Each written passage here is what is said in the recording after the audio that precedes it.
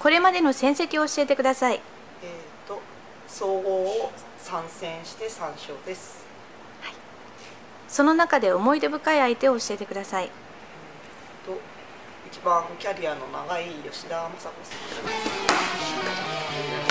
ん。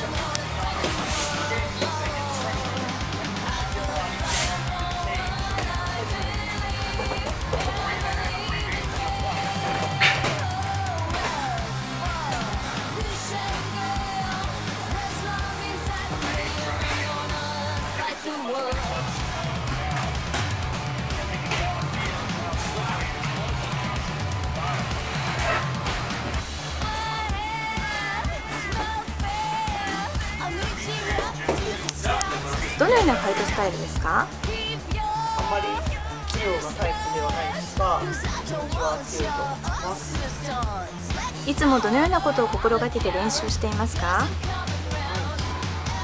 ちょっとしたことの目標を立ててそれをクリアできるように練習します。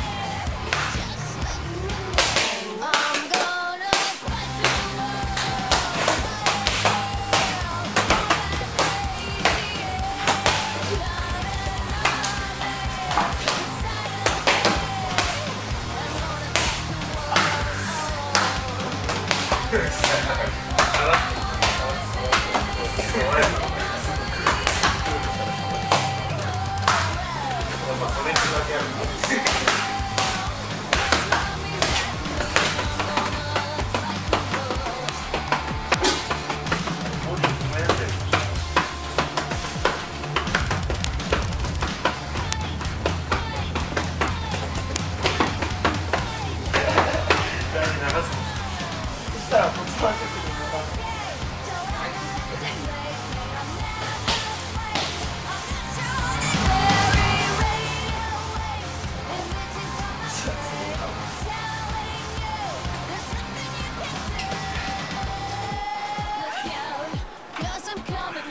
この人と戦ってみたいというような目標もしくは目指している選手像などありますか？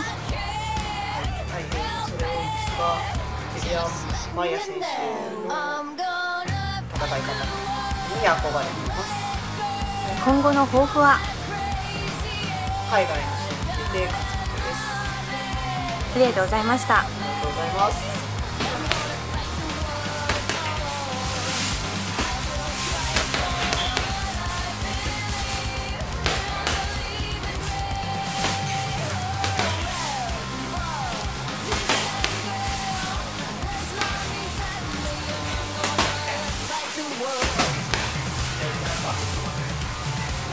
あ